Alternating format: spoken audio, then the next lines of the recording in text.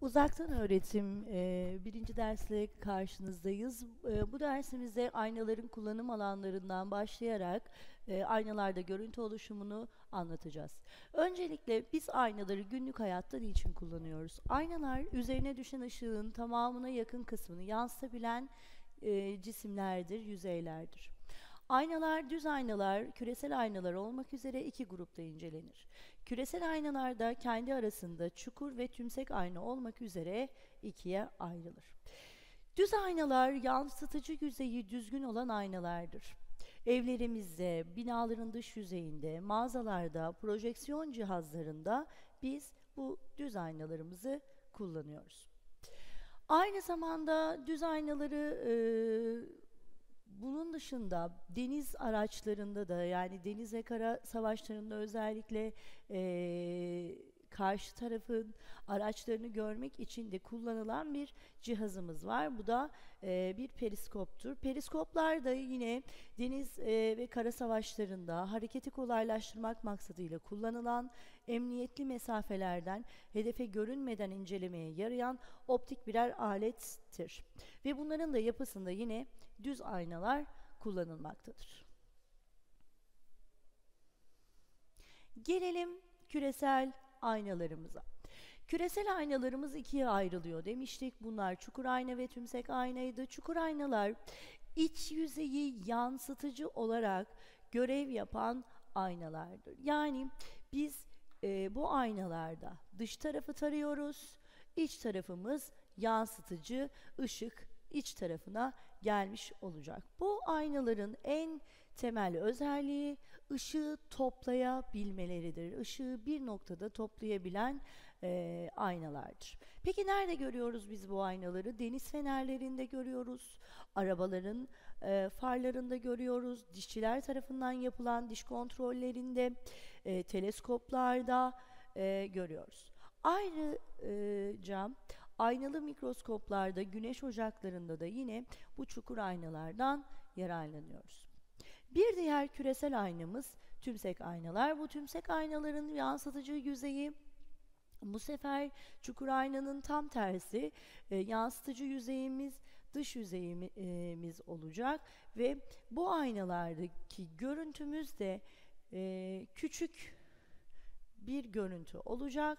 Bu aynaların en temel özelliği ışığı dağıtmalarıdır. Nerede kullanıyoruz peki biz bu aynaları? Özellikle araçların birbirini görmediği, e, görmelerini sağlamak için kullandığımız virajlarda e, bu aynalardan yararlanıyoruz. Otomobillerin e, yan dikiz e, aynaları da yine e, bu amaçla kullanılan aynalardır. Ayrıca marketlerde güvenlik amacıyla ve diyelim ki bir alışveriş merkezine gittiniz, arabanın altına bakmak isteniyor. ve burada da yine e, tümsek aynalardan yararlanılmış oluyor.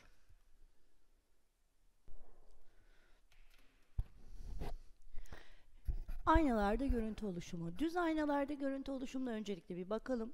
Şimdi düz aynanın özelliğini biliyoruz. Genelde e, cismimizin boyuyla görüntümüzün boyunun eşit olduğunu, e, cismin aynaya olan uzaklığıyla görüntünün aynaya olan uzaklığının birbirine eşit olduğunu biliyoruz. Burada da bir e, resmimiz var. Buna bir bakalım.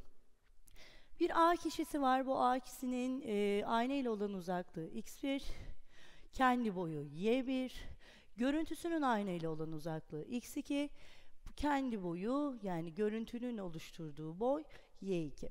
Cismin boyuntu, e, boyu ile görüntünün boyu birbirine eşit. Yani y1 ile y2 mesafemiz birbirine eşit olacak. Cismin sağ tarafı görüntünün sol tarafı olacak. Yani görüntü ile cisim aynaya göre simetrik özellik gösterecek. Cismin aynaya olan uzaklığı ile görüntünün aynaya olan uzaklıkları birbirine eşit olacak. Hemen bir etkileşimli etkinliğimiz var. Buna birlikte bakalım. Yine beton abimiz var burada. Bu sefer beton abi düğmeleri basarak hareket ettireceğiz ve e, görüntülerinin düz aynadaki görüntüsünün oluşumuna bakacağız birlikte. Öncelikle beton abimiz 25 santimlik bir uzaklıkta olunca düz aynadan görüntüsünün de yine 25 santim uzaklıkta olduğunu görüyoruz.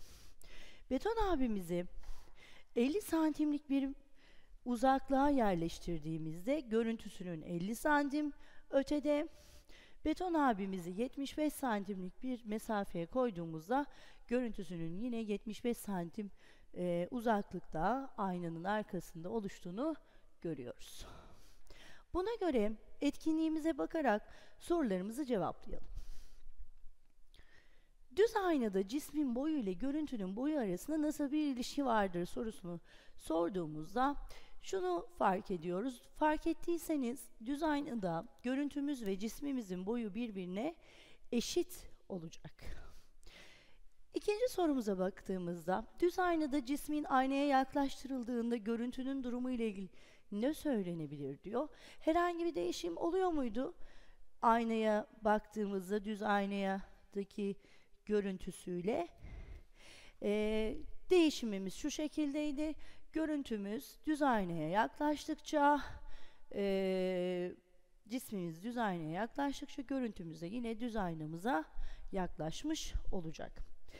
Düz aynada cismin aynadan uzaklaştırıldığı durumda görüntünün durumu için ne söyleyeceğiz? Görüntümüz de yine ne olacak? Aynadan uzaklaşmış olacak. Evet.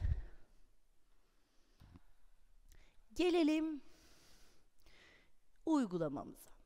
Şimdi bize aşağıda bir cisim verilmiş ve bu bir cisim düz aynada oluşan görüntüsü verilmiş. Cismimizi görüyoruz, görüntüsünü görüyoruz. Bize bununla ilgili bir soru yöneltilmiş. Diyor ki cismin aynaya olan uzaklığı 45 santim ise görüntünün aynaya olan uzaklığı kaç santimdir? Hepinizin 45 dediğini duyuyor gibiyim. Ne, neydi çünkü e, durumumuz? Cismimiz aynadan ne kadar uzaktaysa görüntümüz de aynadan o kadar uzakta gerçekleşecektir. Görüntü ile ayna arasındaki uzaklık 25 santim ise görüntü ile cismin arasındaki uzaklık kaç santimdir diyor. Şimdi burada bir şeye dikkatinizi çekmek istiyorum. Ee, görüntü ile ayna arasındaki mesafemizin yani burayı soruyor bize. Buranın bize kaç santim olduğunu söylüyor. 25 santim olduğunu söylüyor. Görüntü ile cisim arasındaki mesafemizi soruyor. Bakın görüntü ile ayna arasındaki mesafeyi vermiş. Görüntü ve cisim arasındaki mesafeyi soruyor. Biz şunu biliyoruz. Görüntü ile ayna arasındaki mesafe 25 ise cismimiz ve ayna arasındaki mesafemiz de yine 25 santim olacak. Bu ikisinin toplamından da bizim e, cismimiz ve görüntümüz arasındaki mesafenin 50 santim olması gerekmektedir. Şimdi küresel aynalarda görüntüler bizim için önemli. Çünkü düz aynadan çok çok daha farklı özellikler gösteriyor. Küresel aynadaki görüntüler özellikle de çukur ayna e, bunlardan bir tanesi. Çukur aynada e, tek bir görüntü oluşumundan bahsedemiyoruz.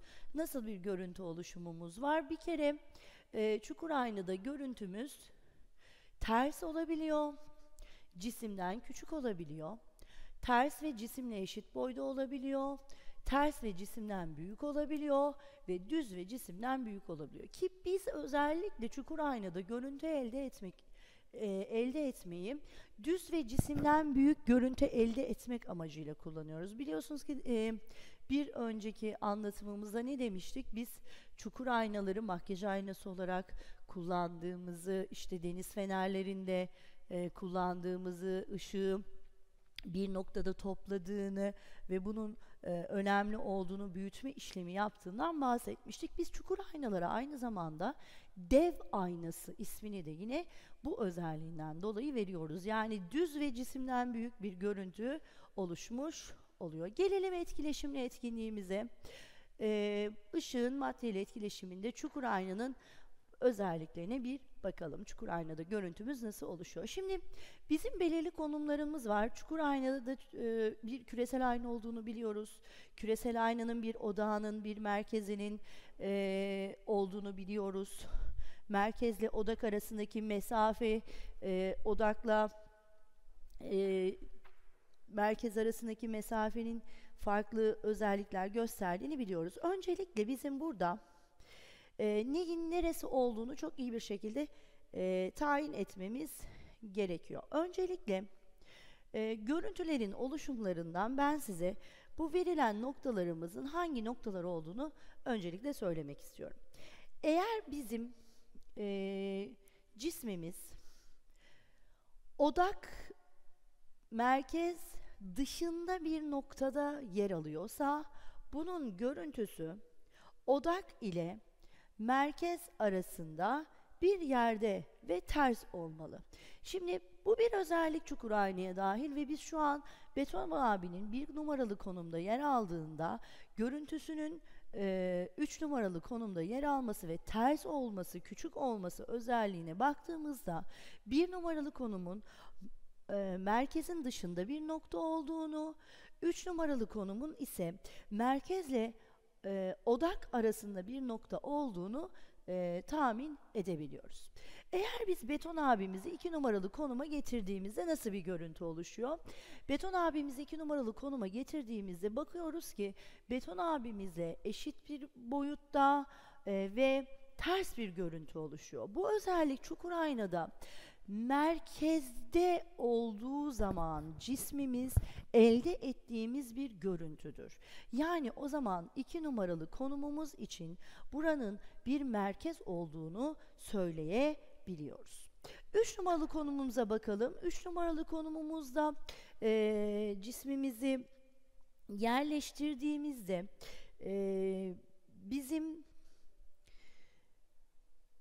3 numaralı konuma cismimizi yerleştirdiğimizde görüntümüzün e, daha büyük olduğunu, ters olduğunu görüyoruz. Bu 3 numaralı konumu biz merkezle odak arasındaki bir nokta olarak ne yapabiliriz? Tayin edebiliriz. Çünkü merkezle odak arasında bir nokta olduğunda, noktada cismimiz yer aldığında cismimizin görüntüsü ters ve daha büyük olacaktır çukur ayna için. Dördüncü konumumuza baktığımızda ki bu konum e, dördüncü, dört numaralı konum büyük bir ihtimalle bizim odağımızın e, odağımızla ayna arasında gerçekleşen bir e, noktada yer aldığını söyleyebiliriz buradaki cismimizin. Çünkü görüntümüz e, dışarıda ve çok daha büyük oluşmuş. Peki e, dikkat ettiyseniz odakla ilgili bir şey söylemedim. Ne demedim ki size odakta e, bir görüntüdür, e, odakta e, şöyle olur söylemedim. E, bunun nedeni şu çocuklar çukur aynada odak noktasında e, görüntü oluşur ama bu görüntü sonsuzda oluşur. O yüzden siz e, bunu ne yapamazsınız? Gözlemleyemezsiniz. Evet. Devam ediyoruz. Şimdi gelelim etkileşim etkinliğimizle ilgili sorularımıza.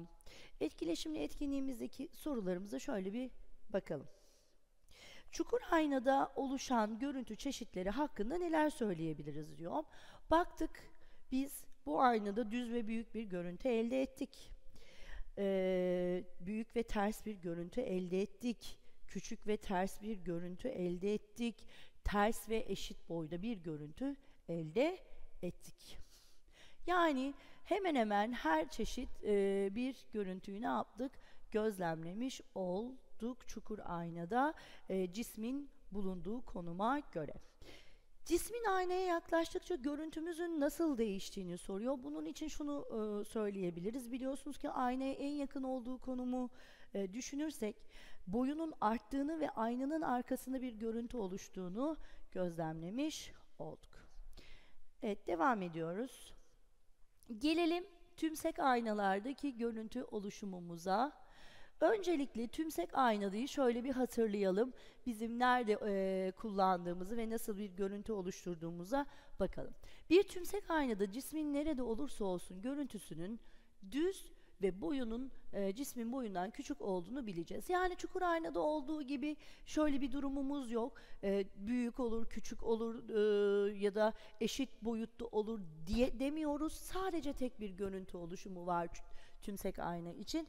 O görüntüde cisimle e, den daha küçük bir boy da olması ve düz olması şeklinde.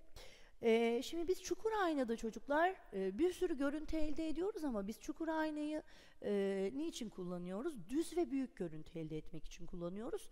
Tümsek aynayı da e, tek zaten bir görüntü elde edilmişimiz var. O da düz ve e, cismin boyundan küçük bir e, boyda elde etmek için görüntümüzü. Nerede kullanıyoruz? Dediğmiştim virajlı yollarda kullandığımızı e, dikiz aynalarında, arabaların dikiz aynasında yoğun bir şekilde kullanımı var. Etkileşimli etkinliğimize bir bakalım.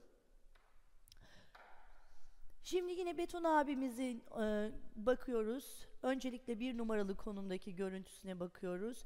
Kendi boyutundan çok daha küçük ve yine tümsek aynanın arkasında bir görüntü olduğunu. İki numarada da yine kendi boyundan yine çok küçük e, ve tümsek aynanın arkasında olduğunu. Üç numarada da yine yine kendi boyundan küçük ve tümsek aynada bir görüntü olduğunu görüyoruz ve dikkat ettiyseniz hepsinde düz görüntü elde ettik. Ne kadar aynadan uzaksak görüntümüzün o kadar küçük olduğunu da fark etmiş olmalısınız. Devam ediyoruz. Tümsek aynada oluşan görüntü çeşitleri hakkında neler söyleyebiliriz? Biliyorsunuz ki tek bir e, çeşit görüntü oluşuyor. O da düz ve küçük. E, cismin aynaya yaklaştığında görüntümüz nasıl oluyor? Eğer biz cismimizi aynaya yaklaştırırsak e, görüntü büyüyor ancak kişi ile aynı boya hiçbir zaman ne olmuyor? Gelmiyor. Bu da bizim için önemli.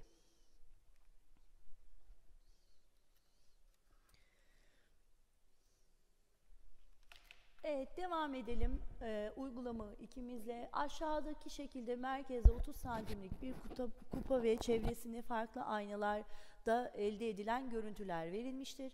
Görüntülerin hangi aynaya ait olduğunu üzerindeki kutulara yazalım diyor. 30 santimlik bir aynamız var. Bakın e, öncelikle e, ilk aynamıza baktığımızda 20 santim ve ters bir görüntü elde ediyoruz. Bakın ters bir görüntü elde etmemiz ve 20 santim bir görüntü et, elde etmemiz normalin dışında e, çok daha farklı bir görüntü elde ettiğimiz aynamızın çukur ayna olduğunu biliyoruz. İkinci duruma bakalım. Yine 30 santimlik aynamız var ve 40 santimlik düz bir görüntü elde ediyoruz. Yine bakın aynanın e, gerçek boyutundan cismimizin çok daha büyük boyutta bir e, görüntü elde ettiğimize göre bu aynamızda yine ne olacaktır? Çukur aynamız olacaktır. E, üçüncü duruma baktığımızda 30 santim yine 30 santim boyunda bir kupamız var ama ters bir görüntüde e, o yüzden e, eşit ve e, ters bir görüntüyü de yine çukur aynada elde ettiğimizi hatırlatmak istiyorum. Şimdi buraya baktığımızda ise yine 30 santim, 30 santim düz, düz bir görüntü elde ediyoruz. Bu bize hangi aynayı hatırlattı? Tabii ki düz aynayı hatırlattı. Eşit boyda ve e, düz bir görüntü. Bakın ters bir görüntü ve daha büyük bir görüntü elde ediyorsak yine ne olduğunu görüyoruz? Çukur ayna olduğunu görüyoruz. Ama biz düz ve küçük bir görüntü elde ettiğimiz bu e, en son e, durumumuzda kullanılmış olan aynamızın tümsek ayna olmuş olması gerekiyor. Devam edelim. Uygulamamız dörtle. Aşağıda ayna türlerinin kullanım alanları verilmiştir. Verilen durumlarda kullanılan ayna türlerinin numaraları aşağıdaki noktalı yere yazalım. Güneş ocağı.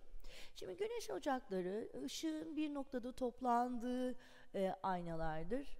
E, yani bizim için e, önemli olan hangi ayna e, olarak söyleyeceğiz?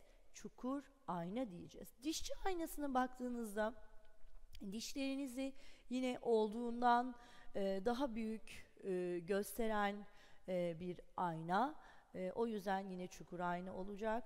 Berberlerde kullanılan ayna şimdi şöyle bir şey. Eğer berberlerde direkt e, karşınızdaki bir ayna ise bunun düz ayna olduğunu ama sizin e, yüzünüzü daha ayrıntılı görmenizi sağlayan bir aynadan e, kastsa bunun çukur ayna olacağını söylemeliyiz. Kavşaklarda kullanılan aynanın tümsek ayna olduğunu, mağazaların güvenlik sistemi için kullanılan aynaların e, tümsek ayna olduğunu, arabaların farlarındaki aynaların çukur ayna olduğunu, periskop içerisindeki aynanın düz ayna, makyaj aynamızın çukur ayna ve otomobil yan aynalarının e, tümsek aynı olduğunu söylüyoruz. Buna göre numaralandırmalarımız çukur aynı olanlar 1, 8, 6, 2, tümsek aynı olanlar 4, 5, 9, düz aynı olan ise 3 ve 7 olarak karşımıza çıkıyor. Şimdi bu kısım e, okuldaki e, okulda değiliz biliyorsunuz. Bunu evde yapabilirsiniz isterseniz. E, farklı renkte e, yazacaksınız. E, fen yazacaksınız. Boya kalemleri, A4 kağıdı ve büyüteç eğer elinize varsa kullanacaksınız. Bu etkinliği yapıp sonuçlarını değerlendirebilirsiniz. Yine evdeki etkinliğinizi e, yapmanıza herhangi bir sakınca yok. E, bir yemek kaşığıyla öz çekim yapın. Öncelikle yemek kaşığınızın iç kısmı ve dış kısmını kullanabilirsiniz. Burada yemek kaşığı biliyorsunuz iç kısmı bir çukur ayna gibi, dış kısmı bir tümsek ayna gibi e, görüntü elde etmenize sağlayacaktır. Işığın kırılması.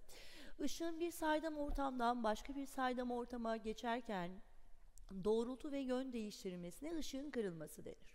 Şimdi herkesin buraya iyi bakmasını istiyorum. Normalde bir boş bardağa siz bir kalem koyduğunuzda o kalemin herhangi bir şekilde bir değişime uğramadan e, düzgün bir şekilde görebilirsiniz. Ama bardağınızı su ile doldurduğunuz zaman artık kaleminizin görüntüsü eski şeklinde değildir. Sanki kaleminiz kırılmış gibi görmeye başlarsınız. Bu durum ışığın kırılması olarak karşımıza çıkmaktadır. Günlük hayatta e, karşımıza kırılma olayını biz en iyi su dolu bardağa koyduğumuz bir kalemin görüntüsünde net bir şekilde görebiliyoruz. Işığın kırılması için ne olması gerekir? Bu çok önemli. Öncelikle ışığın kırılabilmesi için farklı en az iki tane farklı yoğunluklu saydam ortam olması gerekir. Eğer bu ortamlar aynı kırıcılığa sahip ise ışığımız kırılmayacaktır. Yani kırılma olayının gerçekleşmesi için e, ortamlarımız olmalı, farklı yoğunlukta ortamlarımız ve saydam ortamlarımız olması gerekli.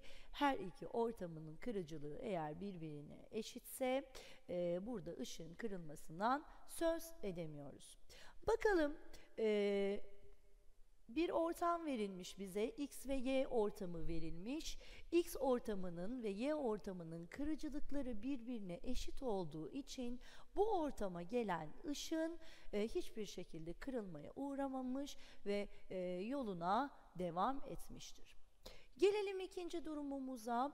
Işık iki ortamı ayıran yüzeye eğer 90 derecelik bir e, açıyla dan farklı bir açıyla e, gelmezse ne olur? Yani ışığınız bir e, 90 derecelik açıyla eğer yüzeyinize gelirse e, arkadaşlar e, dik bir şekilde geldiği için yüzeye yüzeyin normali e, ile geleceği için geldiği gibi e, yansıyacaktır. Herhangi bir kırılmaya uğramayacaktır.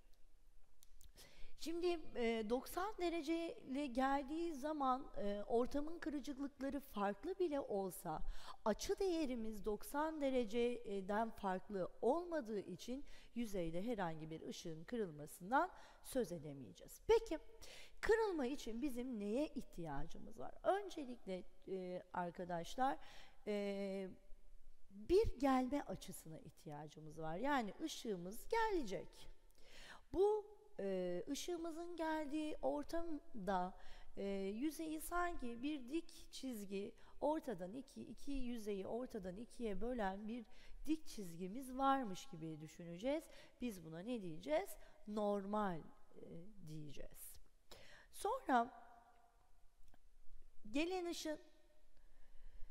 ışınımız var. E, ortama geçti.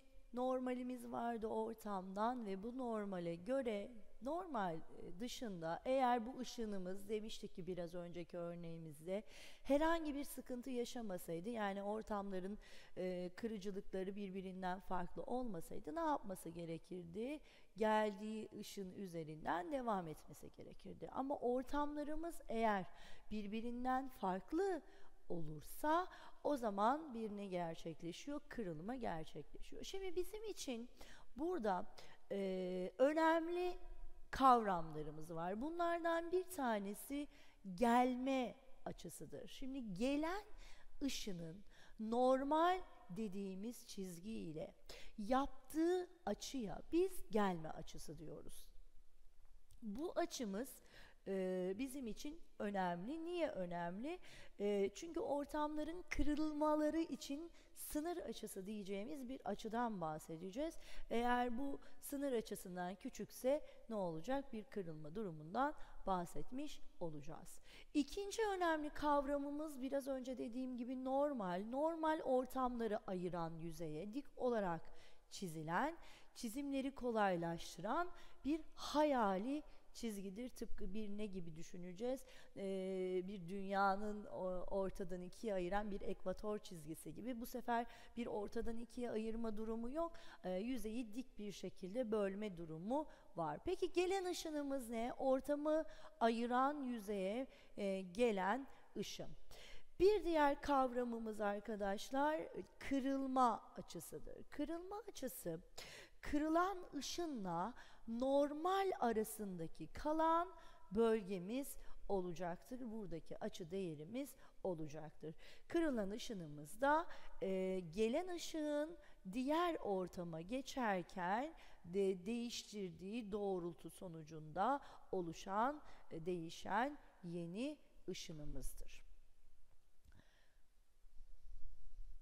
Şimdi biliyoruz ki ortamdan ortama geçtikçe e, biraz sonra da e, ayrıntılarını anlatacağım size. Ortamdan ortama e, geçtikçe ortamların yoğunluklarının farklı olmasından dolayı kırıcılıklar da birbirinden farklı olacaktır. Saydam ortamların yoğunlukları arasında bize bir ilişki verilmiş. Buradan da bakacağımız kadarıyla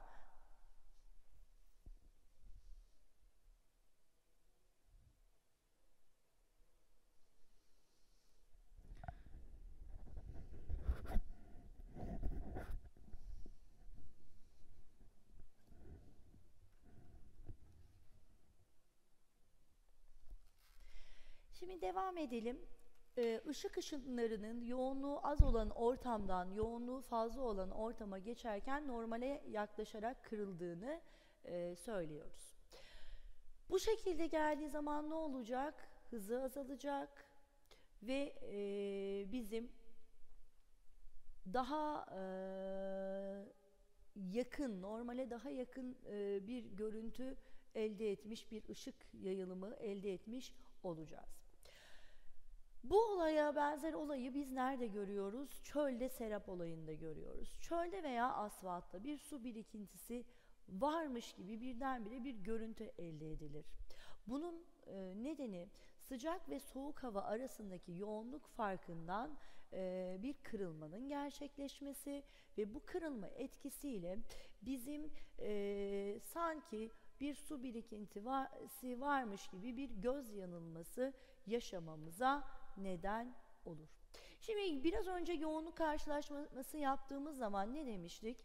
E, camın yoğunluğunun sudan, suyun yoğunluğunun havadan daha büyük olduğunu e, gözlemlemiştik. O zaman havadan gelen bir ışık ışınım nasıl bir ortamdan gelmiştir? Az yoğun bir ortamdan gelmiştir. O zaman biz az yoğun bir ortamdan çok yoğun bir ortama bir ışık ışınının geçişini gözlemlerken normal dediğimiz çizgiye yakınlaşması gerektiğini e, söyleyeceğiz. O zaman ışık ışını yoğun ortama geçtiğinde fren yapan araba gibi ne yapacak? Yavaşlayacak. Nasıl fren yapan arabadaki şoför ön cama yaklaşırsa ışık da normale yaklaşarak bir kırılma gerçekleştirecek. Evet bir etkinliğimiz var ona bakalım birlikte.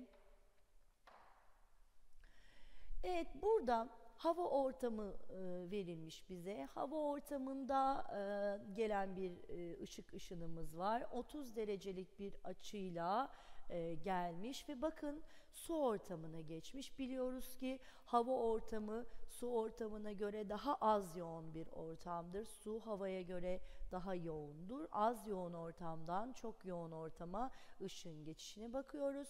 Normal e, normalle gelen ışınımızın yaptığı e, gelme açımıza baktığımızda öncelikle 30 derece olarak görüyoruz. Ama su ortamına geçtiğinde bu açı değerinin daha da ne olduğunu görüyoruz? küçülmüş olduğunu görüyoruz. Peki 60 derecelik bir açıyla geldiğinde bu sefer ne olacak?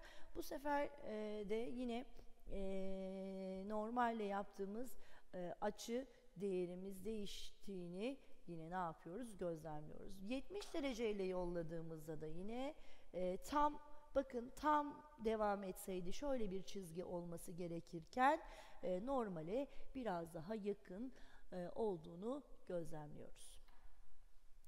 Şimdi etkinliğimize bakarak verilen sorularımıza cevaplayalım.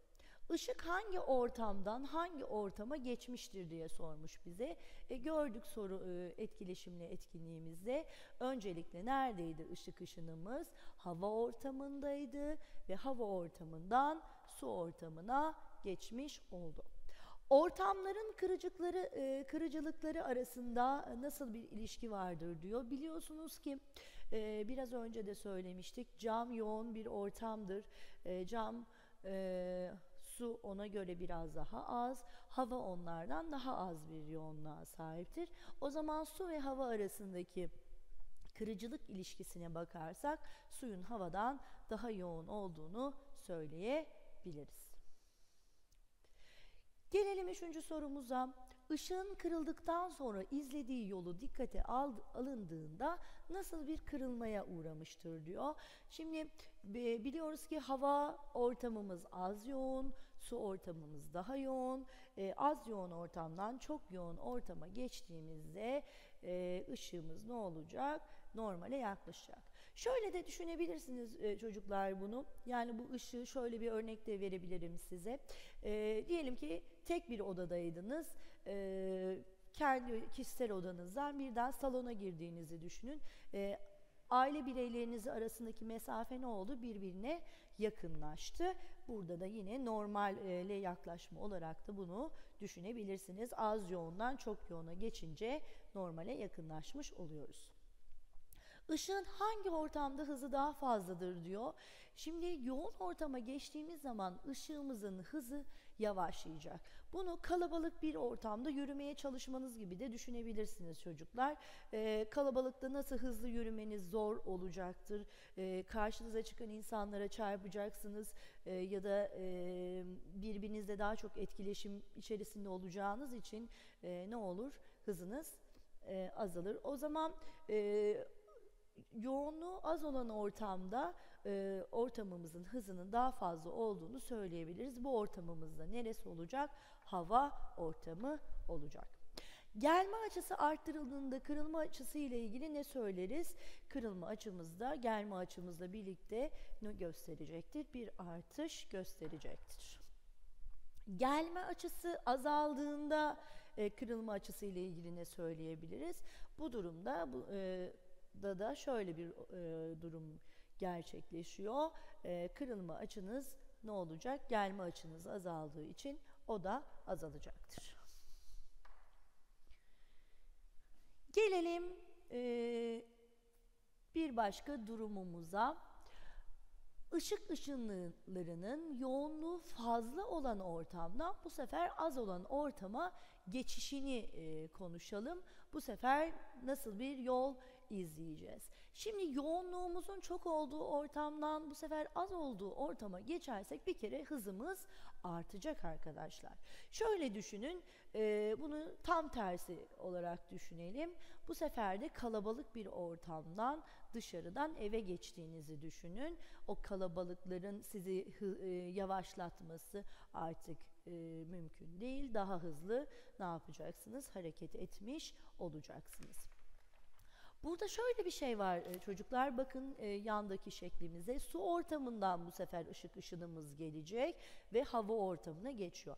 Normal e, normal normalle yaptığı açılara dikkat ederseniz ışığınız eğer hiç ortam değiştirmeseydi şu şekilde çizikli şekilde verilen yolu takip edecekti. Ama bu sefer daha az yoğun bir ortama geçtiğimiz için açımız daha büyümüş, normalden daha uzaklaşmış olduk. Şöyle bir e, durumumuz var. Işık ışını az yoğun ortamdan geçtiğinde gaza basan araba gibi hızlanacak. Nasıl gaza basan arabadaki şoför ön camdan uzaklaşırsa ışık da normalden uzaklaşarak kırılacaktır. Hemen etkinliğimize bakalım. Şimdi e, bu sefer de ortamlarımız verilmiş bize A ve B ortamı olmak üzere. İlk olarak 50 derecelik bir açı verilmiş. Bakmanızı istiyorum. E, ortamların yoğunluklarını bilmiyorum ama yorumlama yapıyorum. Eğer 50 derecelik bir açıyla gelseydi, ortam değiştirmeseydi şöyle gidecekti. Yani şuradan şu, şu şekilde şöyle bir yol izlediğini düşünebiliriz. Ama bu sefer bakın daha genişlemiş. Yani normalden daha uzaklaşmış. O zaman bizim B ortamımızın daha az yoğun bir ortam olduğunu söyleyebiliriz buradan bakarak. Açımız arttığında da görüyoruz ki e, uzaklaşmamız gittikçe artmış oluyor. Evet, gelelim etkinliğimizle, etkinliğimizle ilgili sorularımıza. Evet. Şimdi ışık hangi ortamdan hangi ortama geçmiştir diyor bize. Işığımız A ortamından B ortamına geçmiştir. Ortamların kırıcılıkları arasında nasıl bir ilişki vardır diyor ikinci sorumuz. Şimdi e, biraz önce e, deney etkileşimli etkinlikte de söylediğim gibi e, B ortamının daha az yoğun bir ortam olduğunu gördük. Neden? Çünkü ışık ışını oraya geldiğinde normalden daha uzaklaştı. O zaman A ortamımız yoğun, B ortamımız daha az yoğun diyebiliriz. Işığın kırıldıktan sonra izlediği yol dikkate alındığında nasıl bir kırılmaya uğramıştır? Normalden uzaklaştığını görmüştük. Evet normalden uzaklaşarak kırılmıştır. Işığın hangi ortamda ki hızı daha fazladır? Biraz önce de ifade ettiğimiz gibi yoğunluğun az olduğu ortamda ışığımız daha hızlı ilerleyecek. Yoğunluğun çok olduğu ortamda ise ışığımız daha az ilerleyecek. O zaman biz burada yoğunluğu az olan ortamı B olarak ifade ettiğimiz için B ortamında ışığımız daha hızlı olacak. Gelme açısı arttırıldığında kırılma açısı ile ilgili ne söyleyebiliriz? Onun da arttığını gördük. Gelme açısı azaldığında yine kırılma açısının da azaldığını gözlemlemiş olduk.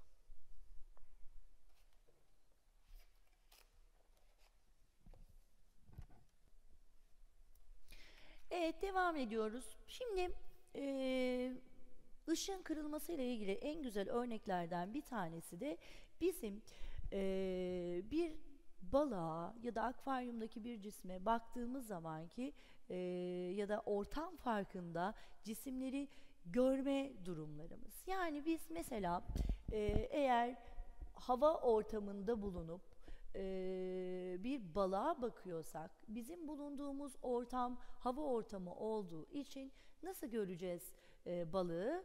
Daha yoğun olan bir ortamdan ki balığa baktığımız için daha yoğun bir ortam olduğu için kırılmamız ne olacak? Ee, daha fazla olacak. Az yoğun ortamdan çok yoğun ortama baktığımızda biz balığımızı bulunduğu noktadan daha yakında bir noktada göreceğiz. Bunun tam tersi eğer balık bizi gözlüyor olsa nasıl görecek bizi? Balık ise biliyorsunuz suyun içerisi su daha yoğun bir ortam, hava daha az yoğun bir ortam. Yoğun bir ortamdan daha az yoğun bir ortama bakan e, bir cisim olduğu için e, görüntüsü yani bizi gördüğü görüntü e, daha uzakta olmuş olacak. Devam edelim uygulamamızla devam ediyoruz. Işık ışınlarının yayıldığı ortamın kırıcılığı arttıkça ışık ışınlarının hızı azalır. Örneğin ışık havada suya göre daha hızlıdır. Yukarıda verilen bilgiyi dikkate alarak aşağıdaki kırılma modellerini inceleyiniz.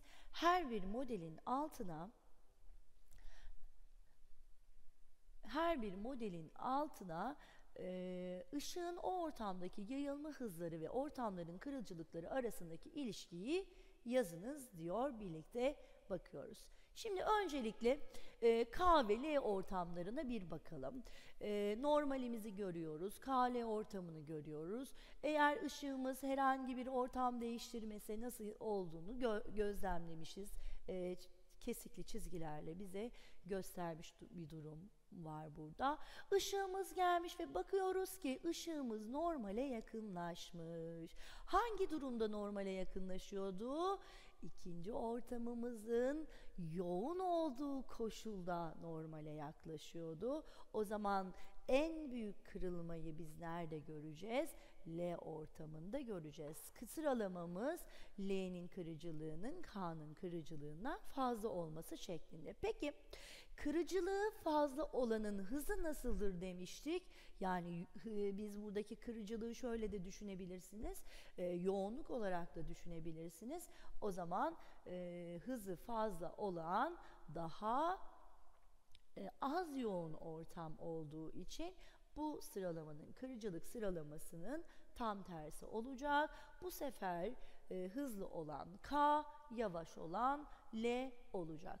İkinci durumumuza bakalım. R ve S'deki e, ortamlarımız ve e, durumumuza. Bakın R ortamından ışığımız gelmiş, S ortamında kırılmış ve normalden uzaklaşarak kırılmış. O zaman S ortamımızın daha az yoğun bir ortam olduğunu söyleyebilir miyiz? Evet. O zaman kırıcılık arasındaki sıralamamız R'nin S'den büyük olması şeklinde olacak. Peki hızımız için ne söyleyeceğiz? Yine aynı şekilde kırıcılığı fazla olanın hızı daha az olacak. O zaman da sıralamamız S büyüktür R şeklinde olacaktır. Gelelim T ve Z ortamlarına. Buradaki kırıcılık sıralamamıza bu sefer Z ortamından ışığımızın geldiğini görüyoruz. T ortamımızda e, ne olmuş? Kırılmış. Ve dikkat ederseniz yine normale ne yapmış? Yaklaşmış. O zaman T ortamımızın yoğunluğu daha fazla, kırıcılığı Z'ye göre daha fazla olacak. Hız da bunun tam tersi demiştik. O zaman hızlı olduğumuz ortam e, Z ortamı olacak. Yavaş olduğumuz ortam ise T ortamı olacak. X ile Y ortamlarına baktığımızda bu sefer yine benzer bir durum görüyoruz. Y'den gelmiş ışığın ışınımız ve X ortamında kırılmaya uğramış ve normale yaklaşmış. Normale yaklaştığına göre X ortamımız daha yoğun bir ortam. O zaman kırıcılığımız X'in Y'den daha büyük olacak. Hız sıralamamızda yine dediğim gibi bunun tersi olacak. E, kırıcılığı büyük olanın hızı daha az demiştik. Evet devam edelim. A ve B hatta C ortamımız var. Bu üç durumu birlikte kıyaslayacağız şimdi. Şimdi ışınımızın A noktasından B noktasına geldiğini görüyoruz. Çok az da olsa normali biraz daha yaklaştığını gözlemledik. O zaman A ortamımız ve B ortamımızı kıyaslarsak B ortamımızın A ortamımızdan daha yoğun bir ortam olduğunu gözlemliyoruz. C'ye baktığımızda B'den gelen ışının C noktasında yine normale yaklaştığını gördüğümüze göre o zaman en büyük kırıcılığa sahip olanın C, sonra B, sonra A olduğunu görüyoruz. Yani büyüklük kırıcılık sıralamamız CBA şeklinde olacaktır. Peki hızımız ne olacak? Tabii ki bu durumun tersi. Kırıcılığı büyük olanın hızı daha az. O zaman A'nın e, hızı daha fazla olacak diğerlerinden. Evet yine üçlü bir ortam verilmiş ama dikkat ederseniz burada hiçbir şekilde kırılma yok. Nereden anladık? Çünkü ışınımız bu üç ortamda da hiç doğrultusunu değiştirmeden yoluna devam etmiş. O zaman kırıcılıklarımız için ne söyleyeceğiz? Birbirlerine eşittir. Hızları da ne olacak? Tabii ki kırıcılıklar birbirine eşitse hızlarımız da birbirine eşit olacaktır. Evet devam edelim. Şimdi bize 5 farklı saydam ortam e, ortamın kırıcılıkları arasında ilişkiyi gösteren bir grafik vermiş. E, görüyoruz ki M ve N'nin kırıcılıkları birbirine eşit. K'nın onlardan az, en az kırıcılığa sahip olan ortamın ise L olduğunu görüyoruz. Bu farklı ortamlara gönderilen ışıkların izleyeceği yolları çizmemizi istemiş bizden. Öncelikle e, kırıcılıkların sıralamasını yaptığımızda K ve L ortamına baktığımızda K'nın e, kırıcılığının e, L'den daha büyük olduğunu görüyoruz. O zaman çok yoğun ortamdan az yoğun ortama bir geçiş olacak. Böyle bir durumda nasıl çizeceğiz e, kırılan ışığımızı? Normalden uzaklaşarak çizeceğiz. İkinci durumda L ve M ortamları verilmiş. Bakın L ve M'ye baktığımızda L ortamının az yoğun, M ortamının çok yoğun olduğunu görüyoruz. Bu sefer de e, a, e, az yoğun ortamdan çok yoğun ortama bir geçiş var. O zaman normale yaklaşarak bir kırılım söz konusu olacak. M ve N'ye baktığımızda e, M ve N'nin kırıcılıklarının birbirine eşit olduğunu görüyoruz. O zaman burada bir kırılma e, meydana gelmeyecek. Gelen ışığın yolunu değiştirmeden devam edecektir. N ve P'ye baktığımızda e, bakıyoruz e, P'nin daha az yoğun bir ortam olduğunu görüyoruz. O zaman e, nasıl çizeceğiz? Daha az yoğun bir ortama geçtiği için normal çizgimizi bu sefer böyle çizeceğiz. Normalden uzaklaşarak kırmış olacağız. P ve L'ye baktığımızda ise P ortamının yoğunluğunun L ortamının yoğunluğundan daha fazla olduğunu görüyoruz. O zaman L'den P'ye geçişte normale yakınlaşarak bir çizim yapmamız gerekiyor. Son durumda ise bakın bir şey dikkatinizi çeksin. Burada direkt 90 derecelik bir açıyla geldiği için ne olacak? Ee, hiçbir şekilde doğrultu değiştirmeden devam etmesi gerekiyor. Burada ortamın yoğunluğunun herhangi bir önemi olmayacak. Işığın bu saydam ortamdaki hızları arasındaki ilişkiyi gösteren bir sütun grafiği çizersek nasıl çizeceğiz? E, biliyoruz ki yoğunluğun az olduğu ortamda hızımız daha fazla olacak. Yoğunluğun çok olduğu ortamda ise hızımız daha az olacak. Buna göre oluşturulan grafiğimiz bu şekilde olacak. Yoğunluğun az olduğu L ve P'de e, hızımız fazla. Yoğunluğu fazla olanlarda ise hızımız daha az olarak grafiğimiz çizimlenmiş olacak. Evet devam edelim uygulamamızla. Yoğunlukları kırıcılıkları arasında e, B büyüktür AC ilişkisi olan üç farklı saydam ortam bulunmaktadır. Gözlemci bulunduğu ortamdan diğer ortama baktığında yıldızı hangi noktada X veya Y'de görüyorsa o harfi daire içine alınız demiş bize. Şimdi A ortamının A ortamı ile B ortamını verdiğinde B ortamının daha yoğun bir ortam olduğunu görüyoruz. Yani bunu ne gibi düşüneceğiz? Sudaki balığın e, baktığımız durum gibi yani havadan sudaki balığa baktığımız durum gibi göreceğiz. Yani hava ortamı, A ortamını hava ortamı gibi düşünüp B ortamında su ortamı gibi düşünürsek biz hava ortamından baktığımızda balığı nasıl görecektik? Daha yakın görecektik kendi bulunduğumuz noktaya. O zaman yıldızı da nasıl göreceğiz? X'te mi göreceğiz, Y'de mi göreceğiz? Tabii ki X noktasında göreceğiz.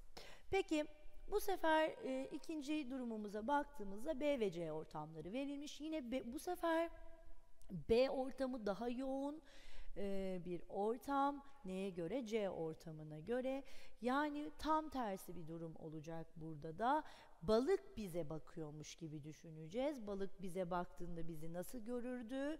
Bulunduğumuz noktadan daha uzakta görürdü.